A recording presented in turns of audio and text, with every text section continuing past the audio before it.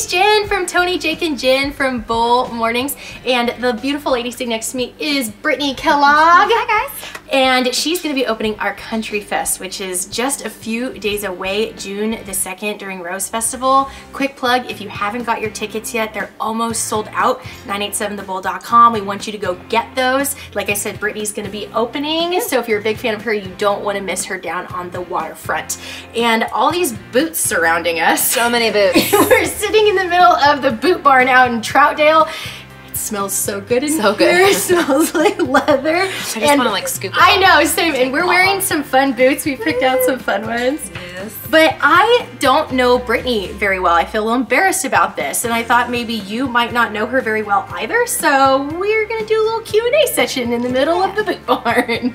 So first of all, Britnee, you're a local girl. Where did you grow up? I am born and raised in Vancouver, Washington. The. The She's Couve. from the Mhm, Couve. that's right. Do you guys like it being called the Couve? Yeah, I'd call it the Couve all the time. Yeah, okay. Yeah. Sometimes people tell us like, oh, stop calling it the Couve. And I don't know if people like from the Couve call it the Couve. I totally call it the Couve. Okay, confirmed. I'm Yeah. gonna keep calling it the Couve. Totally can. Okay, so obviously you do country music. When did do. when did how do you go from Vancouver, Washington to country music star?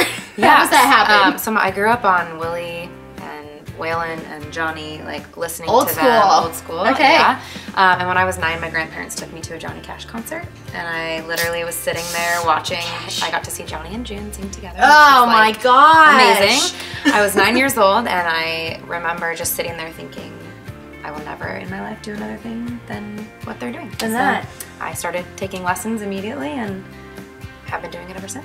you know, you started taking lessons, I feel like there's a lot of people who hear country artists sing and then they're like, oh, I want to do that, but then they like realize they can't sing, or they don't realize they Yeah. can sing until they get to lessons. Yeah. And they're like, oh my gosh, I can sing. So Totally. that's awesome. You already knew you loved it and were Yeah, I was born like singing. My Singing? mom says I was born singing, wearing high heels, and I like I, I just I love I've always loved music, and but country is like where my heart has really always been. Is there any like particular um, artist that you've met um, that is like your favorite? Like, do you do you have a favorite singer that you've got to meet and like profess your love for them, maybe in a way? So obviously Reba, and I did get to meet her, and that was amazing. Oh, but I my like number one is Miranda, and I have yet to meet her. oh, Um, and I- have to make that happen. Yes, please. I'm like I would probably. I mean, I just feel like we're like soul sisters. We're like the same person. We write our music is very similar in the way we write.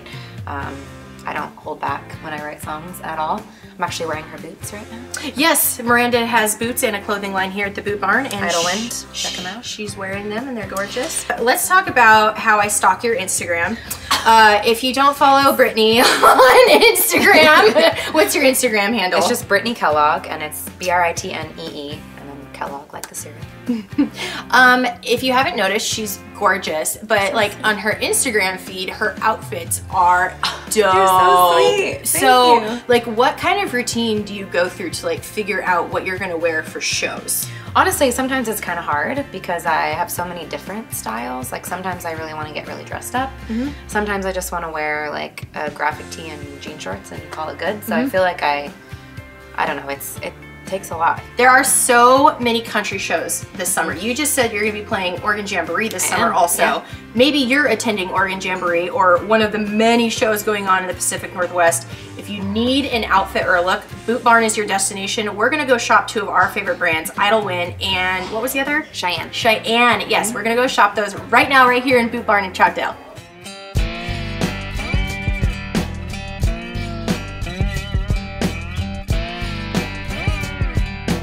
All right, so Britnee and myself, I think, I think we, did damage. We are good to go. I think we should probably start trying on. So, um, Cheyenne is one of the brands that we're shopping here at Boot Barn, and then we also really like the Idyllwind clothes, and it's by one of our favorite girls, Miranda. So a lot of these clothes are made by her brand. So the Idyllwind brand is hers. So we're gonna go try on all this stuff.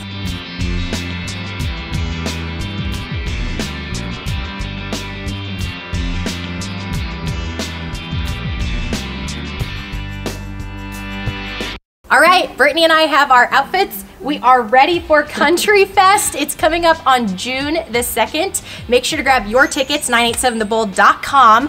Britnee's gonna be opening, so you definitely wanna be there. And if you still need an outfit, you can grab it at the Boot Barn here in Troutdale.